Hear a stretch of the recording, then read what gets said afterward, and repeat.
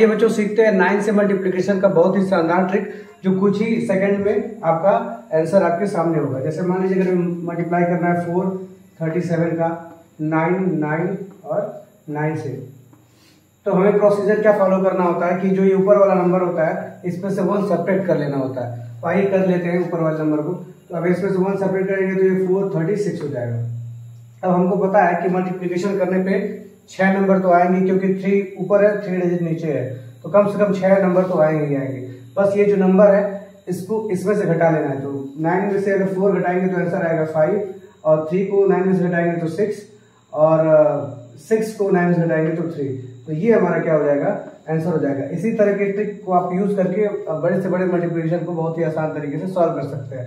बस आपको करना क्या है? ऊपर वाले में से माइनस वन करना है और जो आंसर आएगा उसको नाइन नाइन नाइन में से क्या करना है? मल्टीप्लाई करना ये प्रोसीजर उसी में फॉलो होगा जहाँ पे सेम नंबर ऑफ़ डिजिट ऊपर और नीचे भी होंगे।